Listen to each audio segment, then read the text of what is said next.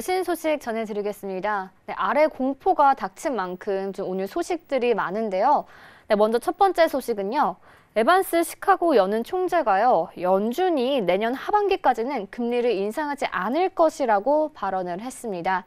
미국 경제가 여전히 탄탄하다면서 인플레이션에 대해서 걱정되지 않는다고 발언을 한 상황인데요. 현재 연준의 통화 정책은 완화적이지도 또 긴축적이지도 않다면서 지금은 좀 조심스러운 태도를 취하는 시기라고 발언을 했습니다. 네, 현재 경기 진단에 대해서는요 하방 리스크가 상방보다 더욱 크다면서 이제 좀 그에 대한 요인으로 어, 한 첫 번째로는 글로벌 성장 둔화와 두 번째는 시장 불안 또 금융 여건의 긴축 등이 있다고 발언을 했습니다. 다음은요, 이제 미국 연준의 슈퍼 비둘기적인 변신을 너무 낙관적으로 해석하면 안 된다는 지적이 있습니다. JP 모건의 패트릭 쇼이츠 전략가가요, 칼럼을 통해서 이제 투자자들이 기대하는 것만큼 연준의 관대한 기조가 지속하지 않을 것이라고 발언을 했습니다. 다, 대다수의 투자자가 이번 경기 사이클에서 경기가 만약 악화한다면 금리 인, 인하로 돌아설 수 있다고 전망을 하고 있는데요.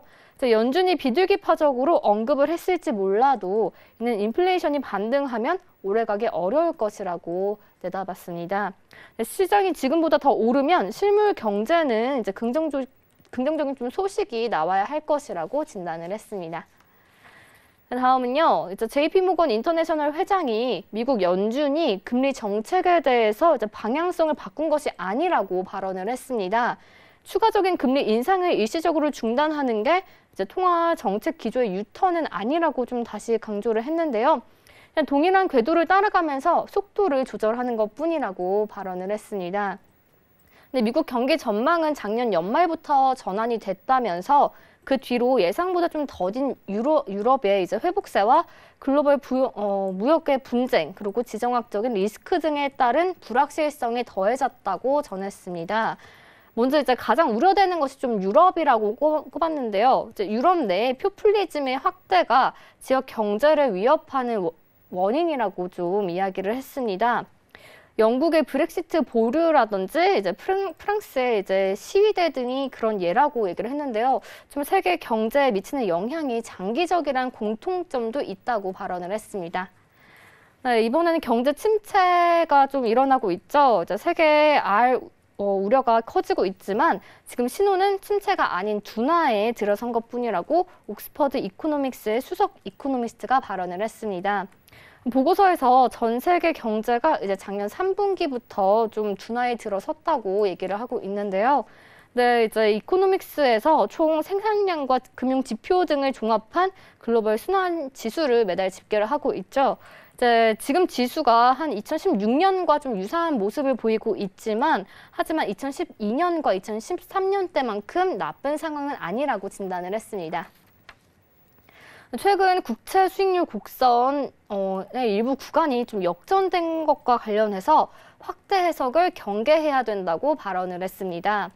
불황이 오는 중일 수는 있지만 현재 일드 커브는 경기 둔화를 시사했을 뿐 이제 뭐 어, 그만큼의 불황은 아니다라고 이야기를 했는데요.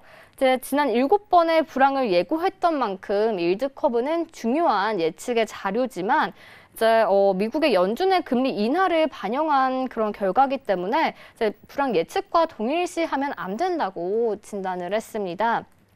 어, 맥킨토시 칼럼니스트가요, 연준이 불안과 무관하게 금리를 인하할 수도 있고, 또 연준이 금리를 낮췄던 1998년과 이제 1965년과 66년에는 커브 역전이 나타났지만, 오히려 경제는 성장세를 유지했다고 이야기를 했습니다. 그래서 지금 이런 상황이 좀 어, 둔화의 신호일 수도 있지만 또 불황하기 불황이라고 확신하기엔 좀 무리가 있다라는 게 어, 주장입니다. 3개월물 금리 산정하는 방법도 여러 가지라면서 이제 기준에 따라서 이제 컵의 역전도 또 뒤바뀔 수 있다고 조언을 했습니다. 다음은요, 이제 미 국채 가격이 글로벌 경기 침체 공포 속에서 또 다시 큰 폭으로 상승을 했습니다. 이제 3개월과 10년물 국채 수익률이 일시적으로 역전이 됐고, 또 독일의 10년물은 마이너스 영역에 진입을 한 상황인데요. 10년 만기 국채 수익률은 전장 종가보다 내린 좀 2.459%를 기록을 했습니다. 30년물은요, 이제 2.893%를 나타냈고요. 2년 만기 국채 수익률은 2.332%의 거래가 됐습니다. 특히 이제 장중 3개월 만기 국채 수익률이요, 2.45 어, 2.45%로 10년물과 이제 3개월 초단기 국채 수익률이 어, 10년 물을 좀 2.5bp 뛰어넘는 그런 역전이 발생을 한 상황입니다. 독일 같은 경우는요, 이제 어, 10년 만기 국채 수익률이 마이너스 0.02%의 거래가 됐는데요. 독일 국채가 좀 유로존 채권 시장을 대표하는 만큼 유럽 경기가 안 좋은 어, 신호를 보내고 있는 거라고 좀 해석이 됩니다. 네, 미국, 어, 일본의 국채 수익률 역시 하락을 해서 마이너스 0.07%를 기록을 했는데요. 어, 이런 기록을 보인 이유로 좀 유로존의 경제 지표를 꼽고 있습니다.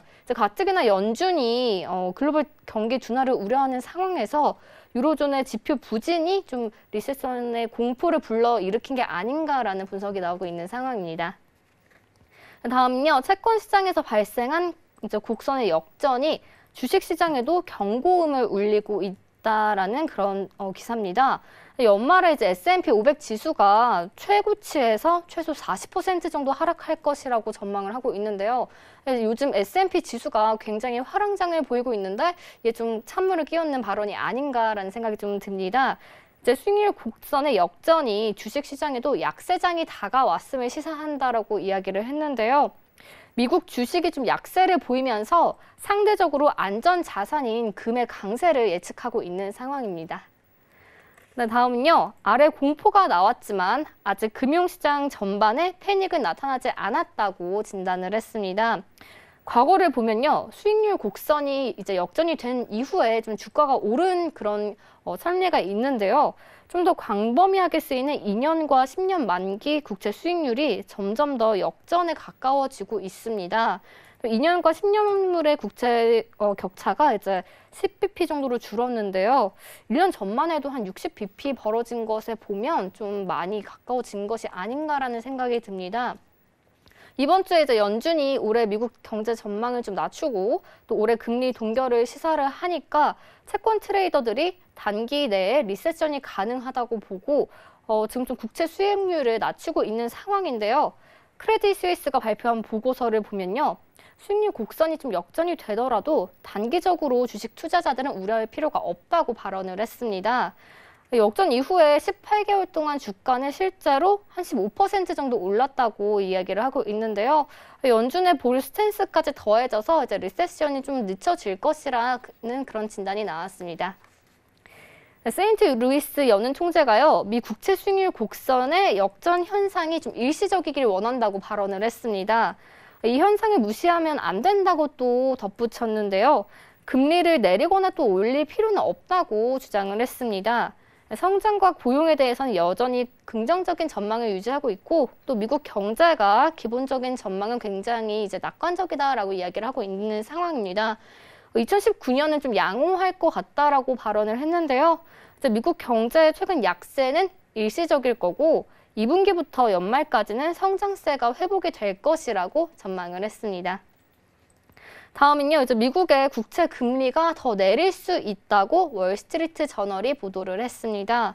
원래 국채 금리가 가파르게 하락할 때는 경제에 있어서 좀 나쁜 일이 있을 때지만 현재는 어, 좀 경제 둔화 때문이 아닌 연준 때문인 만큼 하락세가 지속할 수 있다는 그런 발언인데요. 실제로 연준의 회의가 끝난 뒤에 미국의 10년물 국채 금리가 2.43으로 내려갔습니다. 이제 1분기 경제 둔화 신호가 조금 나타나고 있긴 하지만 이는 미 정부의 셧다운 때문에 이제 좀 일시적인 요인에 따른 것이라면서 어, 2주 전에 이제 어, 유럽 중앙은행이 새로운 부양책을 발표를 하면서 어, 상황이 좀 나쁘진 않다라고 발언을 한 상태입니다. 다음은요, 골드만삭스의 발언인데요. 엔화 투자자들은 전략적인 매수 포지션을 잡아야 한다고 조언을 했습니다. 네, 미국 금리 하락세와 함께 엔화는 좀 강세 압력을 받고 있는 상황인데요. 어, 연준의 태세 전환으로 미국 실질 금리가 추락을 해서 일본 투자자에게는 미국 채권과 주식 시장의 매력이 좀 떨어질 것이라고 발언을 했습니다. 다음은요, 예상보다 약한 유로존 경제 지표로 인해서 리세션의 위험이 늘었다고 이제 BKSS이 진단을 했습니다. BKSS 전문가가요, 이제 3월 PMI가 시장 예상보다 좀 약해져서 리세션의 위험이 더 커졌다고 발언을 했는데요. 어, 이에 따라서 EBC가, ECB가 금리 정상화 과정을 연기할 뿐만 아니라 이를 뒤집을 수도 있다라고 발언을 했습니다. 다시 양적 완화를 시나, 시작할 수밖에 없을 수도 있다고 지적을 했는데요. 트럼프 대통령이 자동차 관세 부과 등을 이제 유럽에 어, 유럽을 좀 위협하는 상황이기 때문에 제조업 활동이 약해진 시점 역시 좀 좋지 않다고 진단을 했습니다. 다음은요, 파운드에 대한 소식입니다. 네, 아시아 외환 시장에서 파운드화가 가, 하락을 했습니다. 어, 그 이유는요, 에번스 보수당 의원의 발언 때문인데요. 네, 메이 총리가 세 번째 합의안 표결도 부결될 경우에 이제 사퇴를 해야 할 것이라면서 합의안 대신은 좀 의향 투표를 하면 해법을 찾을 수도 있을 것이라고 발언을 했습니다. 의향 투표가 뭐냐면요. 의회가 주도권을 갖고 실시하는 것으로 하원의 과반 지지를 받을 수 있는 브렉시트 방안을 찾을 때까지 제한된 여러 옵션에 대해서 수차례 투표를 진행하는 것입니다. 네, 현재 브렉시트에 대한 어, 전망이 좀 확실하지 않은 상황이죠. 그렇기 때문에 파운드화가 계속 어, 좀 하락을 하고 있는 상황인 것 같은데요. 네, 브렉시트에 관한 소식도 들어오는 대로 바로 또 전해 드리도록 하겠습니다. 네, 지금 경제 침체의 유일한 탈출구로 좀 미중 무역 협상을 보는 만큼 어떻게 진행이 되고 있는지 궁금하신 분들 계실 것 같은데요.